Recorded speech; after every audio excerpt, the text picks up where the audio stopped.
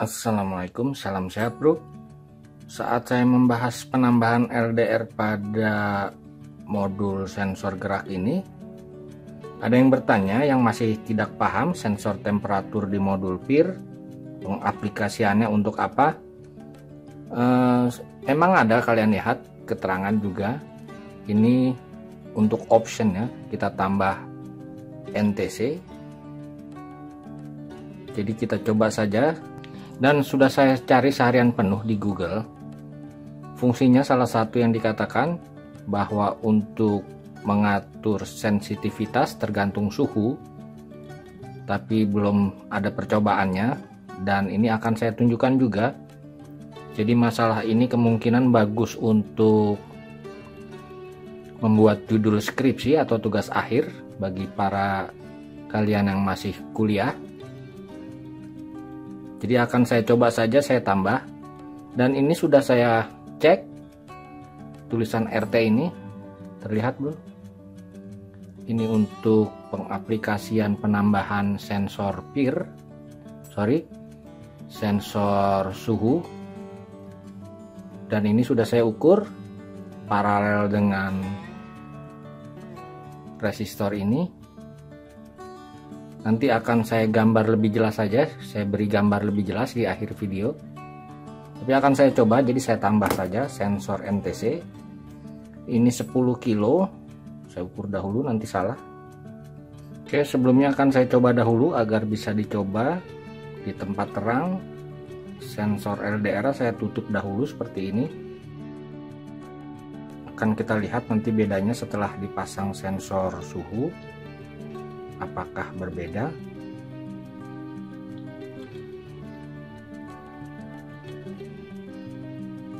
Oke. Saya coba saja ini positif. Ini data yang tengah. Kemudian negatif. Kemudian yang baru lihat video ini untuk mencoba ini kedua potensiometer kalian set paling kecil saya putar ke kiri sampai mentok. Oke saya menggunakan 5 volt saja. Ini negatifnya. Sudah nyala tapi biarkan saja. Ingat setelah kalian putar ini ke kiri dua-duanya masukkan VCC data dan ground. Kemudian tunggu prosesnya antara 30 sampai 60 detik karena memang ini membutuhkan proses. Oke saya coba. Kalian lihat tidak bisa. Ya bisa. Jadi jangan khawatir memang dia rada lama meresponnya jadi prosesnya belum selesai. Jadi jangan khawatir bukannya tidak bekerja. Ini bekerja. Oke selanjutnya bisa kalian lihat video saya sebelumnya. Saya tambah saja. Saya coba tambah NTC oke kalian perhatikan. Saya solder di sini. Terbalik-balik tidak masalah.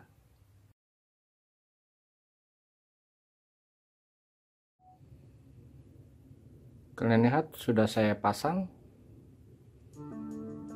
Oke kemudian saya coba saja oke kita coba ke sepertinya masih bekerja normal. Masih tidak bisa.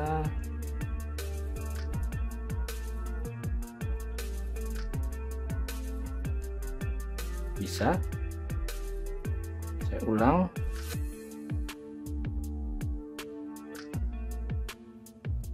Bisa bro? Oke artinya memang jadi bila kalian ingin mencoba kalian pasang saja NTC nya di tempatnya. Terlihat bro di sini.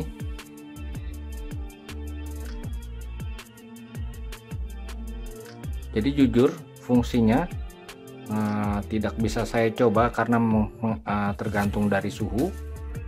Jadi sulit sekali untuk mencobanya. Tapi kira-kira seperti itu fungsinya. Oke akan saya beri gambarnya saja. Oke keterangan masalah HCSR 501 detektor gerak. Saya melihat di drone bot workshop. Saya ke bawah. Ini keterangannya lengkap bro. Bisa kalian baca-baca. Saya akan tunjukkan saja masalah penggunaan kalian lihat pemasangannya letaknya untuk temperatur sensornya di sini. Tinggal kalian solder dan di sini LDR Oke kita lihat oh press ini option komponen. Kita fokus di RT nya saja. This minute eh, pemasangan kontrol temperatur yang di HCSR 501 digunakan untuk temperatur ekstrim. Ini juga saya tidak tahu temperatur ekstrimnya panas atau dingin tapi saya rasa dingin. Ini untuk menambah akurasi dengan tingkat tertentu. Kami bro. Jadi saya melihat di sini. Oke kita lihat uh, rangkaiannya. Saya sudah oke rangkaiannya yang diganti sebetulnya bukan diganti pemasangan sensor suhu di paralel dengan R7 di sini tidak ada keterangan jumpernya tapi kira-kira di paralel dengan resistor 6K8 yang sudah saya tunjukkan lokasinya.